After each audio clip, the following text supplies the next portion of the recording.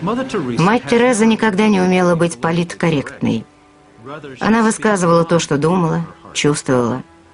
Выступая перед ООН, она затронула проблему, которую считала главной угрозой для мира. Сегодня я вижу величайшую угрозу миру в абортах. Мы боимся ядерной войны, потому что это всех нас касается. Но мы не боимся. Матери не боятся совершать убийство. Хотя сам Господь говорит об этом.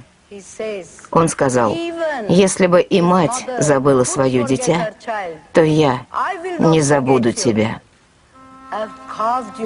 Я начертал тебя на дланях моих. Ты дорог мне. Я люблю тебя.